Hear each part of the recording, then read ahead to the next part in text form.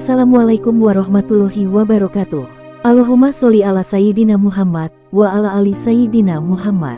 Pemirsa yang dirahmati Allah, marilah kita simak ceramah dari Buya Arozi Hashim dengan tema Fitnah-Fitnah Dajjal. Sebelumnya marilah kita perbanyak solawat minimal seribu kali sehari, agar hidup kita penuh barokah dan mendapatkan syafaat kelak. Selamat menyaksikan. Bismillah walhamdulillah wa la hawla wa la quwata illa billah. Bismillah ma sya Allah la hawla wa la quwata illa billah. Allah la khaira illa Allah. Bismillah ma min ni'matin fa min Allah. Amma ba'du sahabat-sahabat dimakan Allah. Apa sajakah fitnah Dajjal? Sebelum kita masuk ke fitnah Dajjal, tolong diterjemahkan dulu secara benar. Apa itu fitnah? Fitnah bukanlah fitnah dalam bahasa Indonesia yang berarti tuduhan. Fitnah Dajjal artinya kekacauan yang disebabkan oleh Al-Masihud Dajjal, yaitu Al-Masih yang palsu, bukan Al-Masih Isa. Jika Al-Masih Isa membawa rahmah, sedangkan Al-Masihud Dajjal, Masih yang palsu, membawa fitnah, kekacauan-kekacauan. Apa saja kekacauan yang disebabkan, yang, yang dimunculkan oleh Dajjal? Banyak sekali. Mulai dari awal Nabi Adam sampai akhir Nabi Isa, semua fitnah, semua ujian, semua bala, semua kebobrokan yang dulu pernah ada dikumpulkan di akhir zaman. Semua kebobrokan itu, semua kekacauan itu ada di akhir zaman. Itulah yang disebut dengan fitnah Dajjal.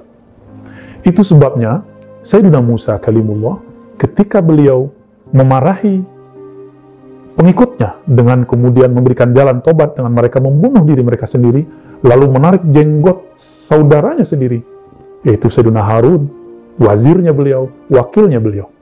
Tapi beliau tidak kemudian memegang jenggotnya Dajjal jika memang dia berjenggot, tapi tidak ada riwayat dia berjenggot. Kita tidak menemukan dia berjenggot. Dan juga tidak ada riwayat bahwa Nabi Musa memukulnya. Nabi Musa ini sosok yang kuat, tapi tidak pernah kemudian memukul Dajjal.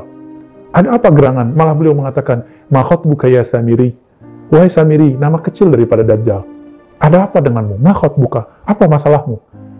Betapa mesranya, betapa lembutnya Nabi Yuna Musa yang sangat tegas itu ketika menarik jenggotnya Sayyidina Harun, tapi ketika Al-Masihu, Dajjal, Samiri, hanya ditanyakan ada apa?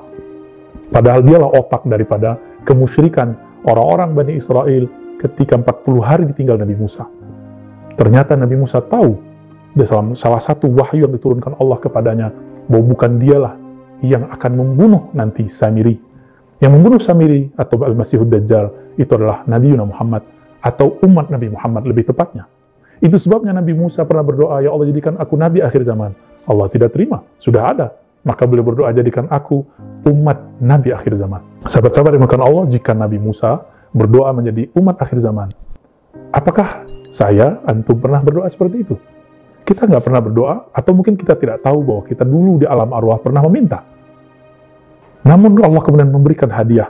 Namun tantangannya juga berat kita terlahir di zaman penuh mara bahaya, penuh pancaroba, fitnatu dajjal. Sebut saja sum apa saja, kekacauan pada nabi mana saja, nabi siapa saja, pasti ada di akhir zaman ini. Apa kekacauan yang dulu di zaman Nabi Adam, saudara bunuh saudara, ada di zaman ini.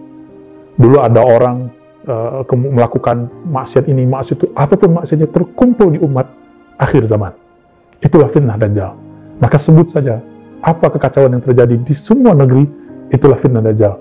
Namun fitnah ini ada yang kecil, ada yang sedang, ada yang besar. Sekarang dengan adanya pandemi yang berkembang di seluruh dunia sehingga menyebabkan ketidakadilan di mana-mana, aniaya berkembang di mana-mana, maka ini adalah akhir daripada fitnah yang wusta, kekacauan yang menengah.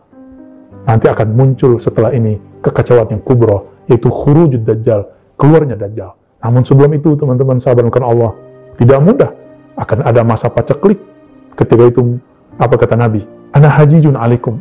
Seandainya aku bersama kamu, tentu aku menjadi hujah kalian. Jika tidak, maka seorang muslim harus berjuang dengan dirinya sendiri. Kejadian apakah itu? Di saat orang tidak hanya mempertaruhkan makan, lapar, haus, tapi mempertahankan iman. Nerakanya surga, surganya neraka. Airnya api, apinya air. Nanti ada akan muncul Orang-orang merasa dirinya masih beriman, tapi dia sudah kufur. Dia masih merasa berislam, ternyata dia sudah fasik. Dia merasa sudah mengikuti Al-Mahdi, ternyata yang diikuti adalah Ad-Dajjal. Nanti akan muncul macam seperti itu. Inilah zaman puncaknya fitnah sebelum keluar fitnah sumbernya, yaitu Al-Masihud Dajjal. Semoga Allah menjaga kita. Maka bacalah doa di akhir sebelum Assalamualaikum dalam sholat kita. Allah min min fitnatil qabri wa azabin nar wa fitnati masihid dajjal. Atau dalam hati kita baca, Ya Allah, jaga aku dari azab kubur, azab neraka, dan fitnahnya dajjal. Semoga kita terjaga. Amin. Bi Nabi Muhammad sallallahu alaihi wasallam. Assalamualaikum.